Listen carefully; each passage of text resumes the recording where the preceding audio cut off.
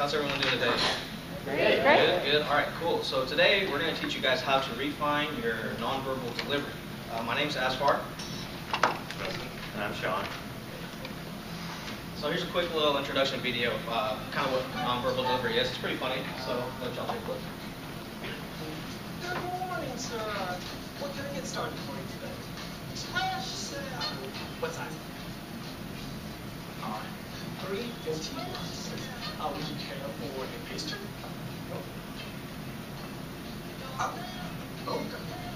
Mocha lattes. Ooh, uh, double chocolate chip muffin. Go.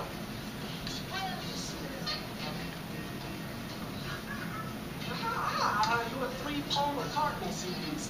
Awesome. And I love the Beatles. They are my life. So, assassination. Abraham Lincoln.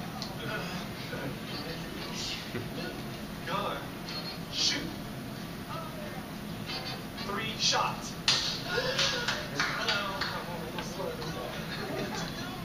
All right. So, three lattes, three mochas,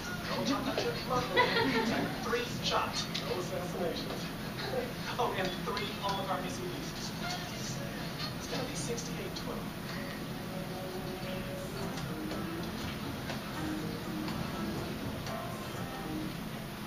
Okay, so that was from a movie. Uh, I forgot exactly what it was called, but it's, it's about Eddie Murphy.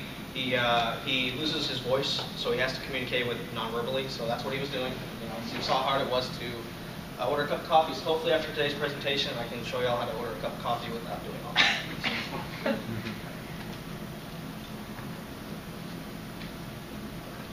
so first we're going to talk about analyzing your nonverbal style. So the first thing is distracting positions. Usually it's when a presenter is speaking. It's the first thing you see. So you can probably see my legs are really spread apart. I look really weird, don't I? So this right here is a distracting position. So when you're talking to your audience, you want to not be distracting. You want them to pay attention to your presentation versus how you're standing. You don't want to look silly in front of everyone, right?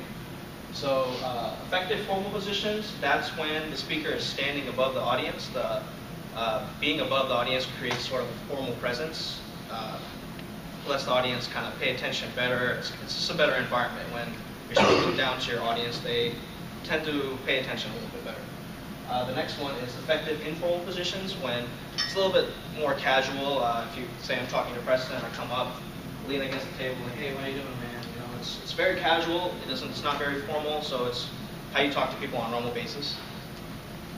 Um, then environmental factors uh, include the, the room size, how big the room is.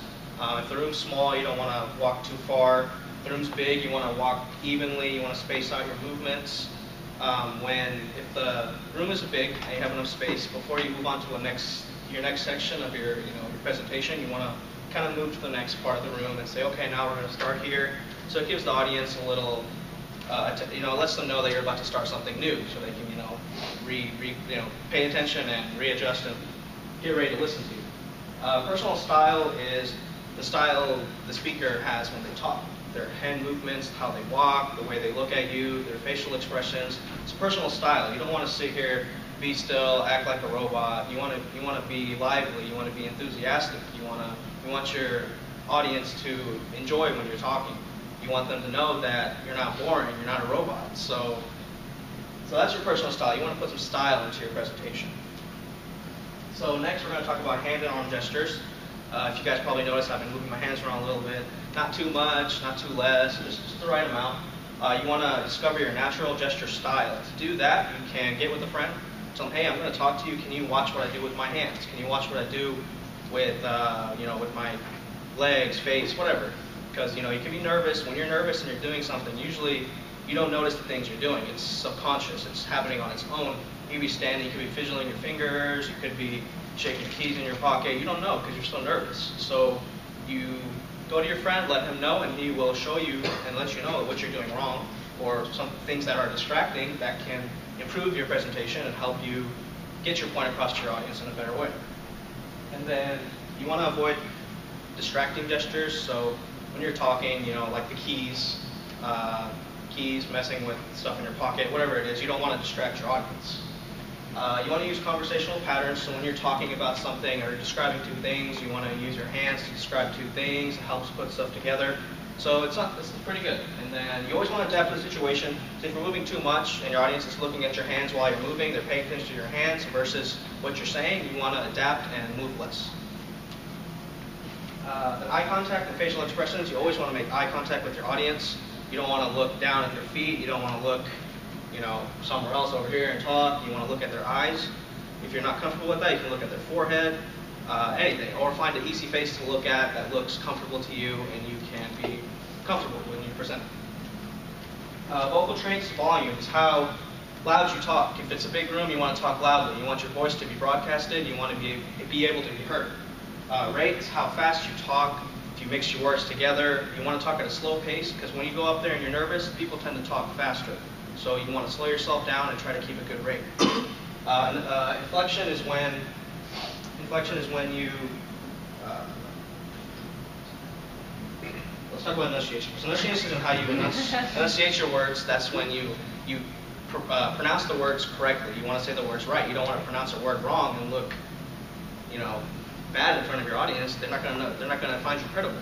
So filler words and sounds. That's um, filler words is okay. So that was filler words. When you don't forget what you're saying, you say um, you say all that stuff. You, you forget what you're saying. So you want to pause, take a deep breath, focus on what you're saying, and continue. Uh, space and objects around you is, you know, this table. I don't want to keep walking into the table. Uh, objects can be anything, even your person. So my tie, I don't want my tie flipping around everywhere. I don't want to keep messing with it, causing distractions. So you always want to be aware of your objects and try not to move them around too much. So now we're going to move on to uh, practicing your delivery, and I'll hand it off to Preston. All right. So first, you want to get comfortable. Uh, you can put together your outline, your notes. Um, don't write out complete sentences. You want to use short phrases. Um, and when you're doing your notes, utilize white space. Uh, keeps your notes like not cluttered. Uh, you want to own your content. You want to go through uh, your presentation multiple times so that uh, you're comfortable with it. Um, and you want to be able to explain each point multiple ways. Uh, once you've done that, you effectively made the content yours, and you seem more confident. Uh, you want to connect your notes. Uh, you can do that with Note Page or Presenter View. Uh, Note Pages allows you to um, link your information to the bottom of your slides, and Presenter View allows you to see that content while uh, presentation, the audience sees just the presentation view. Uh, you want to rehearse. You want to run through your presentation until you're comfortable. Uh, work on timing. You don't want to go over your allotted time. Uh, this makes your audience annoyed and reduces credibility. Uh, you want to rehearse out loud in the manner that you'll be presenting. So if you're going to be standing while you present, you want to uh, rehearse standing. Uh, want to work, on transitions to make it seem more normal and. Um, you want to work on polishing your nonverbal skills. Uh, when you rehearse, when you rehearse with aids, uh, when you communicate your message, don't let your slides communicate the message. Uh, take your time. The uh, slides are going to be uh, new to the audience, so you don't like rush past them. You want to eliminate visual distractions. Uh, move on with the slides whenever you're done. You don't leave old slides up. Uh, main, eye, maintain eye contact with the audience. Uh, don't let your slides distract you. Uh, consider adding extra slides at the end of your presentation so if you go over, you don't have to go in and restart the presentation. Um, you really want to become familiar with your equipment in your room. Uh, make sure when you present, you go through it before so that you know that your, your presentation is going to go off that pitch. Doing deck presentations, uh, you really want to practice your openings. You can explain your purpose and what you're going over. Uh, give special attention to complex ideas and images. You want to pre- preview uh, the table of contents beforehand or summarize what you're going to be doing, going over.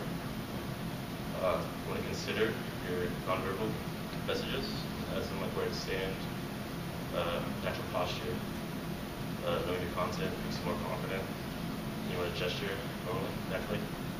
Uh, you're doing online presentations.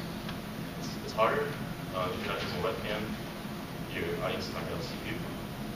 Um, you might consider um, putting a picture on your welcome screen so so that your audience can visualize it. Um, when you become familiar with the equipment, maybe send the uh, slides or documents beforehand.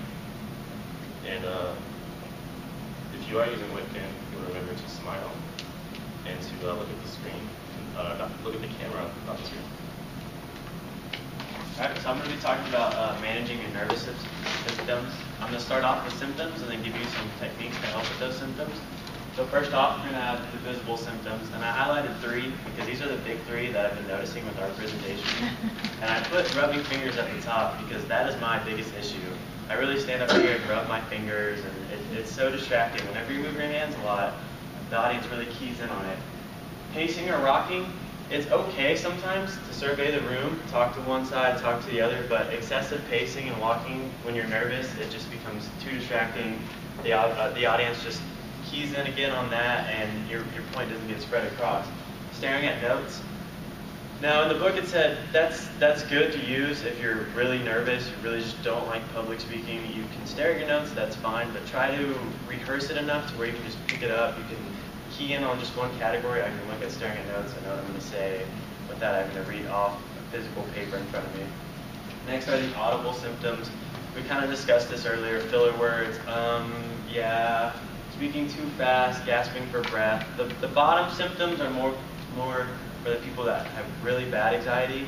You, not often do you see someone up here go and they get really nervous. That doesn't happen often, but it does happen, and it is unfortunate. And the way you get over that is you practice and you rehearse. You do it over and over again until you get good at it. The undetectable symptoms, I'm sure we've all felt them. Our first presentation, maybe when you walked in here and saw the syllabus, you saw we had a presentation, your heart's already starting to pound. You're nervous. You don't, you don't want to stand in front of all these people. It makes you uncomfortable. All these are pretty common. Everyone experiences them. Brief memory loss. When I read that, it clicked immediately. You're standing up here, you know what you're going to say, you get up here and you forget it all.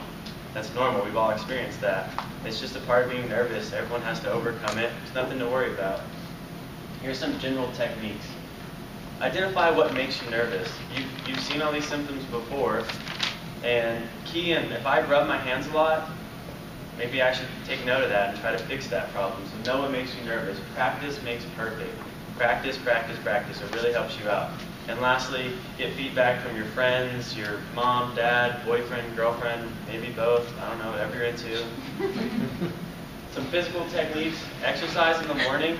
It uh, it helps out with adrenaline, um, calms you. You know, you have you have everything out already.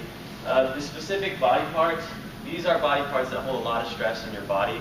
Um, when you're getting massages, you're getting they're working on your back, your shoulders. Every time they get to the shoulders, oh, you're so tense, you have so many knots, because you hold so much stress up there. You gotta learn how to relax that to help you present better. Mental techniques. The big one I want to talk about is just think rationally. The ABCD system. A, the activating event. So these nervous symptoms I was talking about earlier. I'm rubbing my hands. Um, it sparks an irrational belief system. You're, you do that, you stand up here and you think, God, this is a disaster. I'm doing terrible. That that causes consequences. You know, you, you are anxious the next time you do have to do a presentation. Um, maybe you do get a little depressed knowing that you have to stand up in front of all these people. But all this is transcended by disputing the irrational belief system with rational thoughts. Other speakers aren't perfect, and you don't expect them to be perfect, so why should you have to be perfect? No one knows you make a mistake until you, the only person that really knows is yourself, right? Maybe your partners know, but they're not going to rat you out because they don't want you to rat them out. So don't expect to be perfect because you're not going to be. And if you do make a mistake, just move on. It's not going to be a big issue. Some last minute tips to help you out. Improve your mental state. Be positive. What you think about, you bring about. My mom always told me that. So think positively. It'll really help you out in the future. Manage your physical symptoms. Take some deep breaths. Maybe drink a glass of water. That'll, that'll help you out. Some just calms your nerves. And the last thing, relax. Relax, relax, relax. It'll help you out in the end. In, in the end. Um, just a quick recap. We talked about analyzing your nonverbal style, practicing your delivery, and then managing your nervous systems at the end. Do you have any questions? All right. Thank you all so much.